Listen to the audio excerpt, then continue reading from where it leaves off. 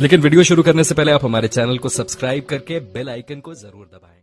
गोरखपुर ज़िले के बेलघाट ब्लॉक प्रमुख चुनाव को लेकर सपाई का पथराव से कई पुलिस के जवान घायल। गोरखपुर बेलघाट ब्लॉक प्रमुख चुनाव को लेकर जहाँ पर्चा दाखिला हो रहा था, पर्चा दाखिला के दौरान भारतीय जनता पार्टी के उम्मीदवार पूजा सिंह पत्नी शिव प्रकाश कौशिक का पर्चा दाखिला हो गया था। उसके उपरांत समाजवादी पार्टी के शकुंतला देवी, पत्नी रामदरस यादव के समर्थक सहित पुलिस प्रशासन पर धावा बोल दिया। कई पुलिसकर्मी घायल हो गए सभी प्रत्याशियों का हुआ नामांकन भारतीय जनता पार्टी के पूजा सिंह, पत्नी शिव प्रकाश कौशिक, वही समाजवादी पार्टी के शकुंतला देवी, पत्नी रामदरस के साथ दो निर्दलीय प्रत्याशी भी किए नामांकन नामांकन की प्रक्रिया हुई पूर्ण? टोटल चार प्रत्याशियों का हुआ नामांकन